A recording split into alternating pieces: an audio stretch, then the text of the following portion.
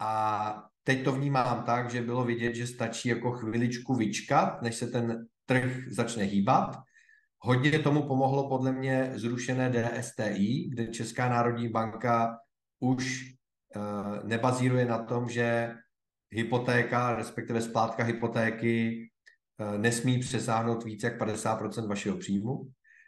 Minulý rok 15% žadatelů o hypotéku tu hypotéku nedostalo proto, že by ta splátka přesáhla těch 50% příjmu.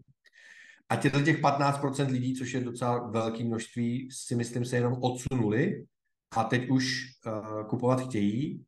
A taky si trošičku už zvykli na to, že ty sazby přece jenom zas až tak jako rychle dolů nepůjdou a že 2% jsou opravdu ještě daleko a že si teda třeba to zafixují na, na 2-3 roky, přetrpí těch 5-6% a pak teprve uh, půjdou níž.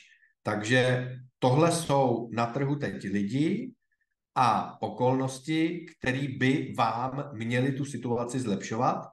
Eh, z té třeba trojky, že je to jako dobrý, na to, že je to chvalitebný, nebo je to dokonce výborný. Takže eh, vytrvejte, setrvejte,